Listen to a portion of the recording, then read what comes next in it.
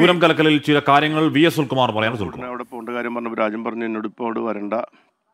എന്ന് അവിടുന്ന് പോലീസിന്റെ ഭാഗത്തുനിന്നും പിന്നെ കലക്ടറും ഇവരൊക്കെ പറഞ്ഞിരിക്കുകയാണ്. കാരണം അവിടെ ചിലപ്പോൾ ചില സംഘർഷം ഉണ്ടാവാൻ സാധ്യതയുണ്ട്. B J P R S എസിന്റെ ആളുകളൊക്കെ ഗവൺമെന്റിനെതിരെ മന്ത്രിക്ക് ചിലപ്പോൾ എന്തെങ്കിലും ഒരു സംഘർഷം ഉണ്ടാക്കി അത് ലോ ആൻഡ് ഓർഡർ ഇഷ്യൂ ആയിട്ട് മാറും. അതുകൊണ്ട് പോകേണ്ടതില്ല എന്ന് പറഞ്ഞുകൊണ്ട് ആൾ അവിടെ വെയിറ്റ് ചെയ്തുകൊണ്ടിരിക്കുകയാണ്. രാജൻ എന്നോട് പറഞ്ഞിരുന്നു ആ വിവരമാണ് ഞാൻ അവിടെ സംസാരിച്ചിട്ടുള്ളത്. അത് ഈ അന്ന് അന്ന് ഈ കളക്ടർ രാവിലെ തന്നെ അങ്ങനെ ഒരു സൂചന നമ്മളോട് പറഞ്ഞു. രാവിലെ ഒന്നും പറഞ്ഞിട്ടില്ല. രാവിലെ ഒന്നും പറഞ്ഞൊന്നും ശരി രാവിലെ രാജനോട് പറഞ്ഞതായിട്ട് രാജനോട് പറഞ്ഞതാണ്. ഇങ്ങനെ ഒരു അതുകൊണ്ട് അവർ പലരും ചോദിക്കുന്നുണ്ട് എന്തുകൊണ്ട് രാജനും സുനിൽകുമാറും അവിടെ വന്നില്ല എന്ന് പല ആളുകളും ചോദിച്ചു. നിങ്ങൾ എന്തുകൊണ്ട് അവിടെ വന്നില്ല? ഞങ്ങൾ മനഃപൂർവം വരാണ്ടിരുന്നിട്ടില്ല അവിടെ ഇങ്ങനെ ഒരു നിർദ്ദേ ഒരു ഡയറക്ഷൻ പിന്നെ പോലീസിന്റെ ഭാഗത്തുനിന്ന് മന്ത്രിക്ക് കിട്ടിക്കഴിഞ്ഞാൽ മന്ത്രിക്ക് കൊണ്ട് വരാൻ പറ്റില്ലല്ലോ. എന്നിട്ട് പോലും ഞങ്ങൾ പിന്നീട് അവിടെ എത്തി. നാല് മണിയാകുമ്പോഴേക്ക് ഞാനും രാജൻ അവിടെ എത്തുന്നത് ഞങ്ങൾ പിന്നീട് എല്ലാം അവഗണിച്ചുകൊണ്ട് അവിടെ വന്നതാണ്. അവിടെ അവിടേക്ക് വന്നില്ല. ശ്രീമൂലസ്ഥാനത്തേക്ക് എത്തി. അവിടെ കഴിഞ്ഞിട്ട് അദ്ദേഹം ദേവസ്വം ബോർഡ് ഓഫീസിൽ കയറി ഇരുന്ന് സംസാരിച്ചതൊക്കെ ഈ ആളുകൾ വിളിച്ച് ഞാനാണ് പോയിട്ട് ദേവസ്വം തിരുവമ്പാടി ദേവസ്വത്തിലെ സെക്രട്ടറി സുന്ദരമേന അടക്കമുള്ള ആൾക്കാരെ വിളിച്ച് രാജന്റെ അടുത്ത് കൊണ്ടുവന്ന് ചർച്ച നടത്തി. അന്ന് തന്നെ വെടിക്കെട്ട് നടത്താൻ വേണ്ടിയുള്ള എല്ലാ ഉറപ്പുകളും വാങ്ങിയതും ആ വെടിക്കെട്ട് നടത്താൻ തീരുമാനിച്ചതിനെ തുടർന്നാണ്. അപ്പോൾ ഇതൊക്കെ ജനങ്ങൾ അറിയണ്ടേ? ഒറ്റ- കാര്യം ഇവർ R S S B J P നേതാക്കൾ അവിടെ എത്തിയത് എന്തിനും തയ്യാറായിരുന്നു. അല്ല അതെനിക്കറിയില്ല. അതൊന്നും എന്നോട് പറഞ്ഞിട്ടില്ല. അങ്ങനെയൊന്നും പിന്നെ അതിനകത്ത് പറഞ്ഞിട്ട് എന്തിനും തയ്യാറായെന്നൊന്നും ഞാൻ പറഞ്ഞിട്ടില്ല. ഞാൻ പറഞ്ഞത് അവിടെ സംഘ സ്വയമായിട്ട് അവിടെ പൂരം അലങ്കോലപ്പെടുത്തിയിരിക്കുന്നു. അല്ലെങ്കിൽ പോലീസിന്റെ ഭാഗത്തുനിന്ന് കുഴപ്പമുണ്ടായിരിക്കുന്നു എന്ന് പറഞ്ഞ് അവിടെ വരുമ്പോൾ അവിടെ ഒരു ഒരു ലോ ആൻഡ് ഓർഡർ ഇഷ്യൂ ഈ പൂരത്തിനിടയിൽ ഉണ്ടായി കഴിഞ്ഞാൽ അതിനേക്കാൾ പ്രശ്നമാവൂലേ? അപ്പോൾ അതിനുവേണ്ടി തയ്യാറായിട്ടുള്ള ആൾക്കാർ നിൽക്കുന്നു പറഞ്ഞാൽ അവിടെ ആർ എസ് എസിന്റെയും പിന്നെ മറ്റ് സംഘപരിവാറുമായി ബന്ധപ്പെട്ടുള്ള പ്രമുഖരായിട്ടുള്ള ആൾക്കാരൊക്കെ അവിടെ സംഘ സംഭവ സ്ഥലത്തുണ്ട്. ഇനി ഏതെങ്കിലും രീതിയിൽ അവിടെ സംഘർഷം ഉണ്ടാക്കാനല്ലോ നമ്മൾ ആഗ്രഹിക്കുന്നത്. നമ്മളവിടെ പ്രശ്നം രമ്യമായി പരിഹരിക്കാനാണല്ലോ ഉദ്ദേശിക്കുന്നത്. സംഘർഷം ഉണ്ടാക്കാനുള്ള ഒരു ശ്രമമായിരുന്നു പലരും ഉദ്ദേശിച്ചത്. അല്ല നിങ്ങളൊക്കെ അവിടെ മീഡിയകളൊക്കെ അവിടെ ഉണ്ടായിരുന്നല്ലോ. നിങ്ങൾ ആ സംഭവ സ്ഥലം കണ്ടിട്ടുള്ള ആൾക്കാരല്ലേ? നിങ്ങൾക്ക് അവിടുത്തെ ഒരു അവിടെ ഒരു പ്രശ്നം ഉണ്ടായിക്കൊണ്ടിരിക്കുന്നു എന്നുള്ള സൂചന നിങ്ങൾക്ക് ഉണ്ടായിരുന്നില്ലേ സത്യമായിട്ടുള്ള കാര്യമല്ലേ? ഞാൻ അത്രേ പറഞ്ഞിട്ടുള്ളൂ.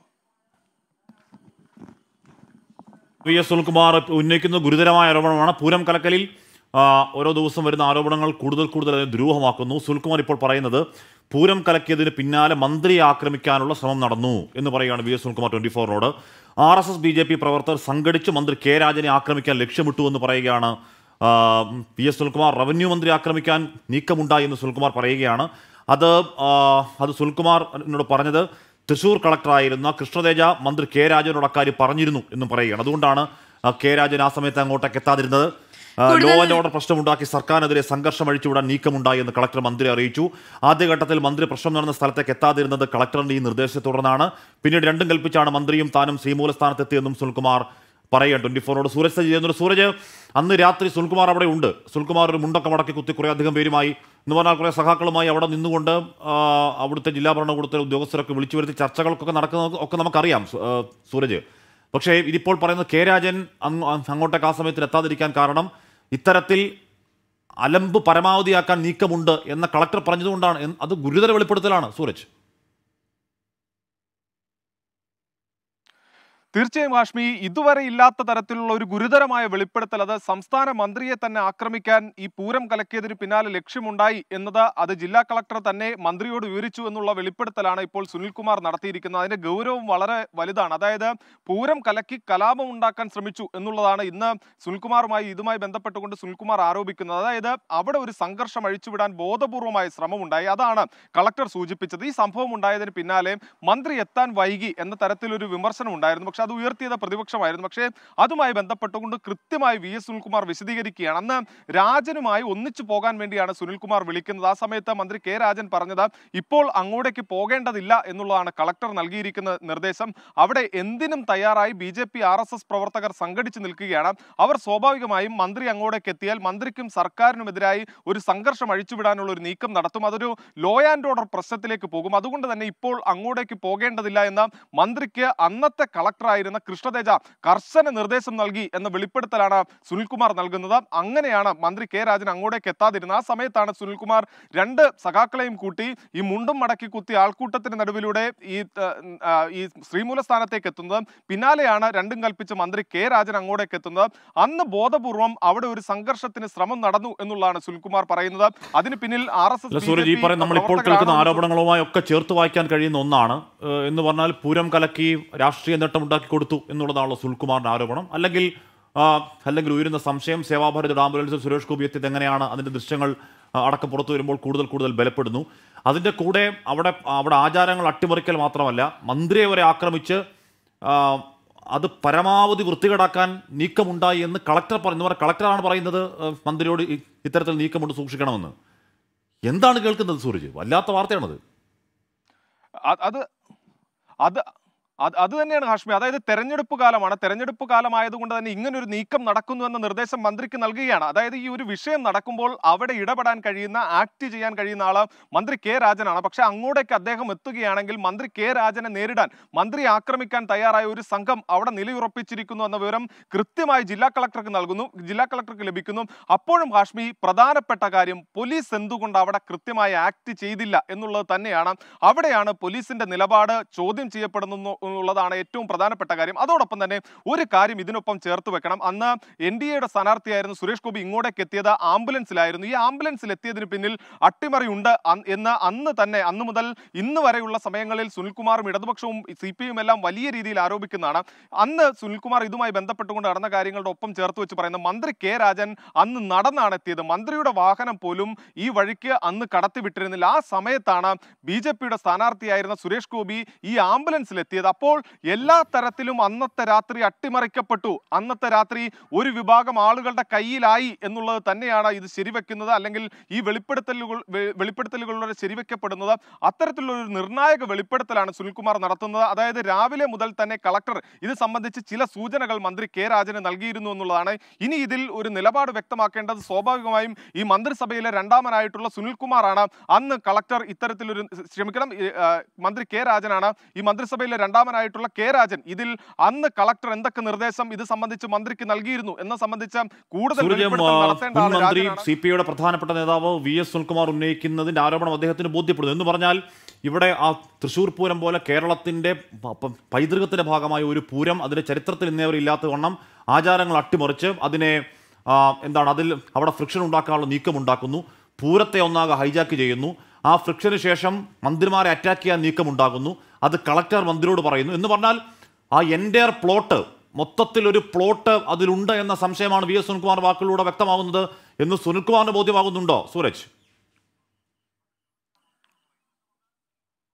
തീർച്ചയായും തീർച്ചയായും വാഷ്മി അതാണ് സുനിൽകുമാർ ആ ബോധ്യത്തിൽ നിന്ന് തന്നെയാണ് പറയുന്നത്. അതായത് ഈ പാണികുട്ടി ദേവി ഭഗവതി പുറത്തേക്ക് ഇറ- ഇറങ്ങിക്കഴിഞ്ഞാൽ ആ ഭഗവതിയെ ഉപചാരം ചൊല്ലി തിരിച്ച് ക്ഷേത്രത്തിനകത്ത് പ്രവേശിപ്പിക്കുന്നത് വരെ അത് ആചാരമാണ്. ഒരു തരത്തിലും ആ ആചാരത്തിന് മുടക്കം വരുത്താൻ പാടില്ല എന്നുള്ളതാണ്.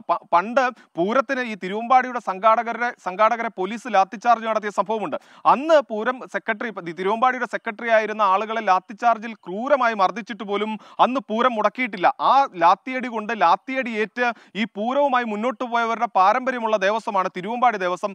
അവിടെയാണ് ഇവർക്ക് മുന്നിൽ ബാരിക്കേഡ് ഉയർത്തിക്കൊണ്ട് പോലീസ് ബാരിക്കേഡ് ഉയർത്തി എന്നതിന്റെ പേരിൽ പോലീസുമായി സംഘർഷത്തിൽ ഏർപ്പെടുന്നു. ആ സംഘർഷം തിരുവമ്പാടിയുടെ ചില തിരുവമ്പാടി ദേവസ്വത്തിലെ ചിലരും പോലീസുകാരും ചേർന്ന് ഈ സംഘർഷത്തിൽ ഏർപ്പെടുകയായിരുന്നു എന്ന ആരോപണമാണ് സുനിൽകുമാർ മുന്നോട്ട് വെക്കുന്നത്. പിന്നീട് ഈ ലൈറ്റ് ഓഫ് ചെയ്യുന്നു മേളം നിർത്തുന്നു. പിന്നീട് പൂരം തന്നെ അവസാനിപ്പിക്കുന്നു. വെടിക്കെട്ടേ നടത്തുന്നതില്ല എന്ന് തീരുമാനിക്കുന്നു. ഈ ലൈറ്റ് അണയ്ക്കുന്നതിനും വെടിക്കെട്ട് നിർത്തിവെക്കുന്നതിനും ഒക്കെ ആര് നിർദ്ദേശം നൽകി എന്ന ചോദ്യം ഇപ്പോഴും അവിടെ അവശേഷിക്കുകയാണ്. തിരുവമ്പാടി പറയുന്നത് അത് കൂട്ടായ തീരുമാനമാണെന്ന് പറയുന്നു. പക്ഷേ സുനിൽകുമാർ പറയുന്നു അതൊരു കൂട്ടായ തീരുമാനമല്ല അത് ചിലരുടെ താല്പര്യമാണ്. ദേവസ്വത്തിലെ ചിലരുടെ താല്പര്യമായിരുന്നു. അന്ന് ഇതിന് പിന്നിൽ നിന്ന് സുനിൽകുമാർ നേരത്തെ ആരോപിച്ചതാണ് അതിന് പിന്നാലെ ഉണ്ടായിരിക്കുന്ന നിർണായക വെളിപ്പെടുത്തലാണ് വരുന്നത്. അതായത് ഈ പൂരം നിർത്തിവെച്ചതിന് പിന്നാലെ ആ വിഷയത്തിന് പരിഹാരം കാണാൻ സംസ്ഥാന മന്ത്രി സ്വാഭാവികമായും ഇടപെടേണ്ടി വരും. ജില്ലയുടെ ചുമതലയുള്ള പൂരത്തിന് മുന്നിൽ നിന്ന് നയിച്ച തെരഞ്ഞെടുപ്പ് പെരുമാറ്റച്ചട്ടം ഉണ്ടെങ്കിൽ പോലും ഇതിന്റെ അണിയറയിൽ നിന്ന് പൂരത്തിന്റെ ഒരുക്കങ്ങളെല്ലാം നിയന്ത്രിച്ച ആളാണ് മന്ത്രി കെ രാജൻ. മാത്രമല്ല കെ രാജന് സൂരജ് ഇത്ര സ്വാഭാവികമായും വലിയ ഈ ഒരു പൂരം- വെളിപ്പെടുത്തൽ ഇപ്പോൾ മന്ത്രിയുടെ ഭാഗത്ത് തന്നെ ഉണ്ടാവുകയാണ്. അതിനിടെ എ ഡി ജി പി അന്വേഷിച്ച ആ റിപ്പോർട്ട് അത് സർക്കാർ തള്ളി. ഇനിയിപ്പോൾ പുതിയ സംഘത്തെ സർക്കാർ സർക്കാർ നിയമിക്കാനിരിക്കുകയാണ് എന്തായാലും ഇത്തരത്തിലൊരു വെളിപ്പെടുത്തൽ മുൻ മന്ത്രിയുടെ ഭാഗത്തുനിന്ന് ഉണ്ടാകുമ്പോൾ തീർച്ചയായും ഇക്കാര്യങ്ങളെല്ലാം ഒരിക്കൽ കൂടി അന്വേഷിക്കപ്പെടേണ്ടതല്ലേ? പ്രത്യേകിച്ച് മന്ത്രിയെ കളക്ടർ തന്നെ പറയുകയാണ് അത്തരത്തിലൊരു പ്രശ്നം അവിടെ ഉണ്ടാകാനിരിക്കുകയാണെന്ന് ഈ ഒരു സാഹചര്യത്തിൽ അത് ഏറെ പ്രസ- പ്രസക്തമായിട്ടുള്ള കാര്യമല്ലേ ഈ അന്വേഷണം വീണ്ടും നടക്കുമ്പോൾ?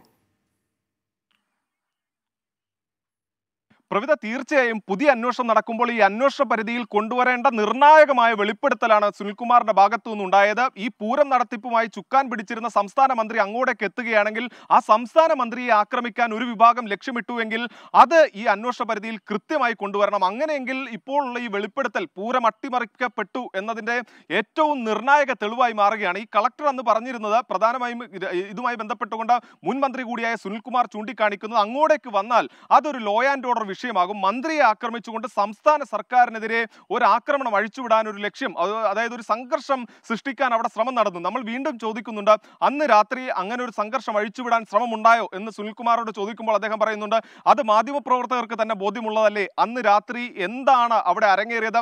വലിയ രീതിയിൽ സർക്കാരിനെതിരെ മുദ്രാവാക്യം വിളിക്കുന്നത് ഉൾപ്പെടെ ഉള്ള സാഹചര്യമുണ്ടായി. അന്ന് രാത്രി ലൈവ് റിപ്പോർട്ടിംഗ് നടത്തിയ ഒരേ ഒരു ചാനൽ ട്വന്റി ആണ്. നമ്മുടെ ആർക്കേവിൽ ആ ദൃശ്യങ്ങൾ വളരെ വ്യക്തമാണ്. നമ്മൾ ഇപ്പോൾ സ്ക്രീനിൽ കാണിക്കുന്ന ദൃശ്യങ്ങളിൽ പോലും ഉണ്ട്. കുറെ ആളുകൾ സർക്കാരിനെതിരെ മുദ്രാവാക്യം വിളിക്കുന്ന ദൃശ്യങ്ങൾ പോലും നമ്മുടെ സ്ക്രീനുകളിലുണ്ട് നമ്മുടെ കൈവശമുണ്ട് നമ്മുടെ ആർക്കൈവിലുണ്ട്.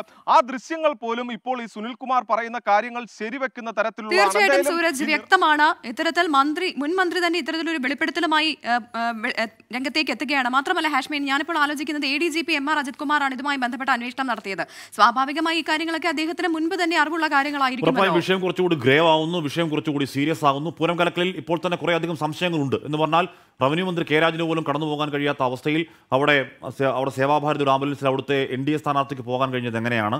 കൂറ്റൻ വാരിക്കേറുകൾ മറികടന്ന് ബി ഗോപാലകൃഷ്ണൻ മത്സ്യം തില്ലങ്കേരിയും പോലെയുള്ള സംഘപരിവാർ നേതാക്കൾക്ക് പോകാൻ കഴിഞ്ഞത് എങ്ങനെയാണ്? എന്ന ചോദ്യങ്ങൾ അവിടെ നിൽക്കുമ്പോഴാണ് ഇതാ പുതിയ വെളിപ്പെടുത്തൽ വരുന്നത്.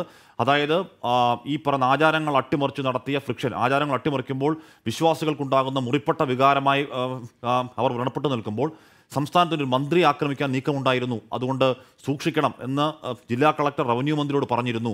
അതിന് പ്രകാരം കുറച്ച് സമയം വരാതിരുന്നു. ഏറ്റവും ഒടുവിൽ എന്താ രണ്ടും കൽപ്പിച്ച് ശ്രീമൂല സ്ഥാനത്തേക്ക് രണ്ടുപേർ കൂടി എത്തി.